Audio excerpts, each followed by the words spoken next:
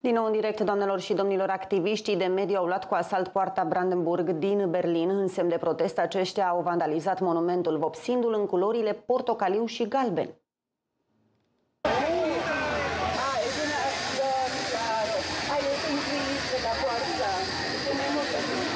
Activiștii pentru climă au vopsit cu spray de culoare portocalie și galbenă monumentul Poarta Brandenburg din Berlin. Poliția germană spune că este vorba despre organizația cunoscută sub denumirea de Last Generation și că au fost arestați toți cei 14 protestatari găsiți la fața locului. Last Generation, un grup din Germania care face parte din rețeaua europeană ce cuprinde și organizația britanică Just Stop Oil, a căpătat notorietate prin blocarea drumurilor germane cu ajutorul protestatarilor care s-au lipit de asfalt. Germania și-a propus să atingă ținta de emisii zero până în 2045, dar a ratat obiectivele anuale din ultimii doi ani.